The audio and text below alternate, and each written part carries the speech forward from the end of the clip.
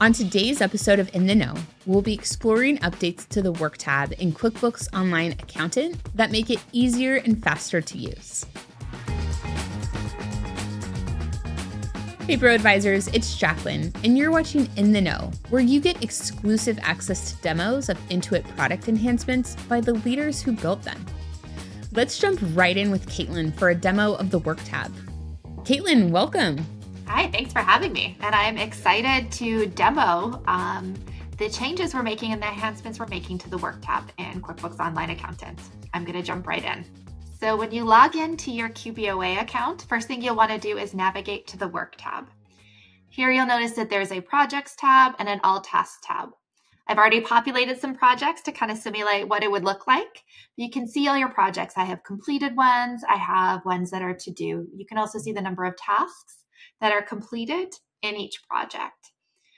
We have lots of different filters to help you narrow on where you want to focus. So you can start with, you can filter by clients, due date, you could do custom due dates, the statuses, and whom it is assigned to. So if you just want to know who's assigned the work assigned to you or a particular employee, you're able to do that. If I only care about what I have yet to do, I can filter by that and get rid of any noise. If I want to create or I want to like look deeper into one of these projects and understand what tasks have left, when I click into it, you'll land on what we call the project details page. It has sort of key information about the project up top.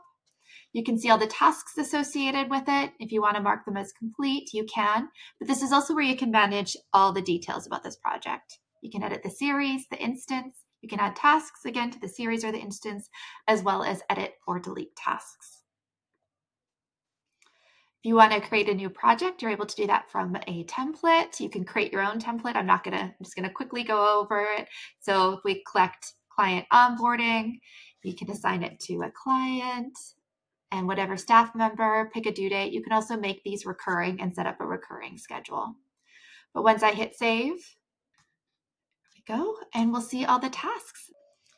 The other great thing is we have this all tasks tab. So, you know, it's not just the projects that matter, but the individual tasks and when they're due. So, this again, with very similar filters, you're able to filter to understand what individual pieces of work need to be done on any given day. We also have the ability to add tasks. So, you can add standalone tasks that if you just need to submit your timesheet. You can assign it to me and say it's for the firm. You don't have to attach it to a project. You can if you want and set that reminder for yourself as well. And then we'll see the task show up there.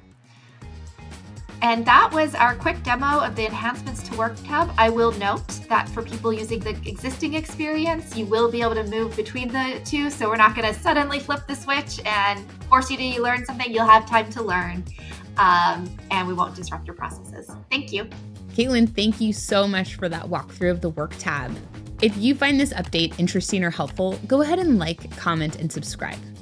Let me recap now with the fast facts. The Work tab is available to all accountants who have a QuickBooks Online Accountant account. These updates will be live in January of 2025 across all regions. That's all we have for now. For more product updates and demos, check out our In the Know Hub and be sure to register for the live monthly webinar. We'll catch you next time.